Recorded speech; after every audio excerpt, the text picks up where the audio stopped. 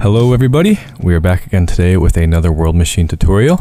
Today we will be going over some basic mountain shapes and how to make these erosion lines seem far more prettier than you could usually get them. So to start out, I'm just going to let you guys know that from now on, all of the content that I make now, I will have a download for the World Machine file so you guys could follow along with me and you can still see all the settings that I have without having to pause the video. So let's get right into it. So before we get into anything, I'm just going to let you guys know that I'm still using the settings that I used in the last episode. So this tutorial will be fully functional with the free version of World Machine. Uh, I'm probably only going to do like two more episodes that continue with this because really the free version isn't that good with making maps. I mean, you can really only do the simplistics with World Machine. But let's jump right into it. So to start out, I'm just going to use a simple layout generator found in the generator tab. Now what these do is it allows you to draw a path for the devices afterwards to follow. So if you just double click the layout generator, it'll take you to the layout view tab found up here. Now for the mountain, what we're going to use is a line. So all you got to do is click it here and you just want to draw the path that you want the mountain to follow.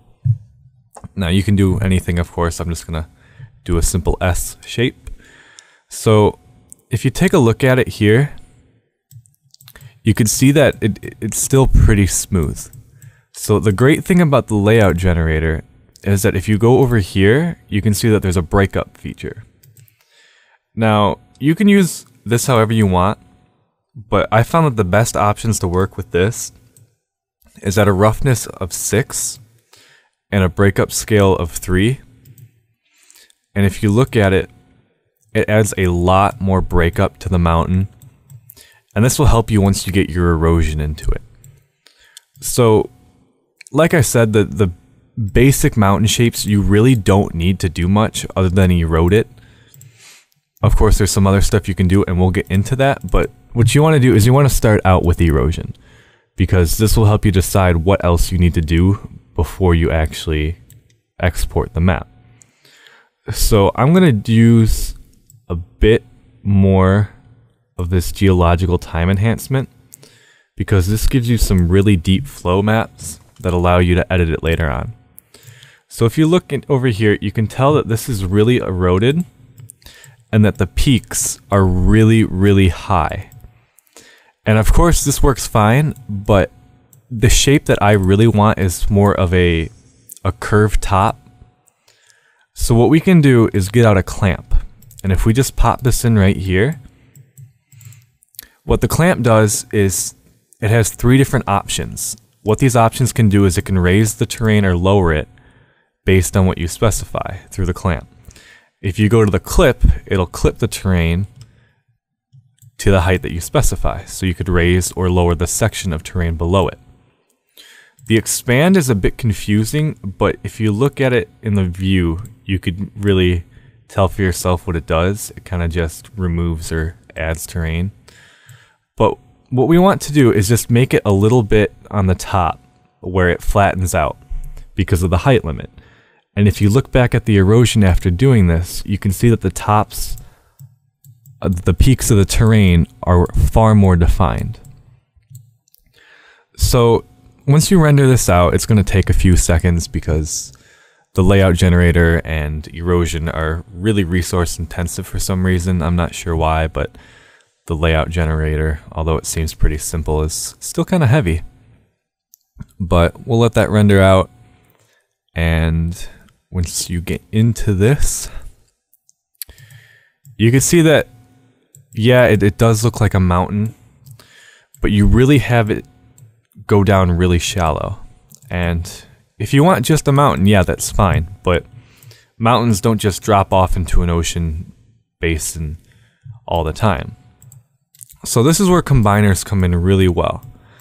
So what the combiner will do, I, I kind of gave a simple rundown last episode, is you can take two sections of terrain and add them or subtract them together.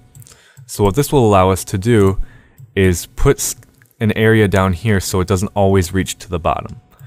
So to do that, we're just going to take a simple advanced Perlin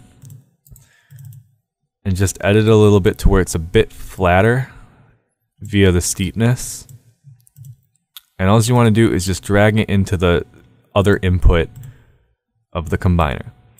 So from the start, this the combiner is averaging the terrain. So it'll take one of the two and just sort of average it. The combiner has tons of different features that you can mess with. I'm not going to explain them all right now, but the one that I typically use is the max. But if you look at it, it kind of it just puts the terrain into the other terrain. Now this is, can be good in some cases, but for now it, it doesn't really give you a smooth transition. So we're going to use the screen, and what that does is it uses a max-like thing, but it overlays it on the terrain to make a smoother preview. So if you render the terrain out now, you'll see that the the depth of the terrain isn't too far now. So while it takes away some height, it makes it far more natural. Now, of course, this is perfectly fine for your terrain, and you could stick to this, but I don't really like the smoothness of the entire terrain. So we're going to take this one step further, and using another clamp, we're going to add the terrain to here. And if you look on every single device, there's a purple box here. What these are are mask inputs, and it does as it says. You could take something from another device, mask it into the terrain, or into the uh, device, and whatever that device does, it'll only do what it is doing where you define it. So what we can do is take the flow map from the clamp, or from the erosion, and put it into the clamp. And we're going to clamp it down just a tiny little bit on the mountain, and as you can see, it took where the flows are and is over amplifying them to make it a lot more smoother on the flow maps, but making it more rigid along the the mountain itself. So that's pretty much it. Now, there's tons of other stuff you can do, of course, and there's a lot of other effects that we can add. But this alone should it it's a very nice start for something that is very simple. So for now, we're just going to leave it at this. And next episode, we're going to go into exporting and coloring the terrain to make it look well in Minecraft. And then we'll move on from there and go into some far more advanced stuff. So thank you for watching, everyone. I will get more out as soon as possible. And yeah.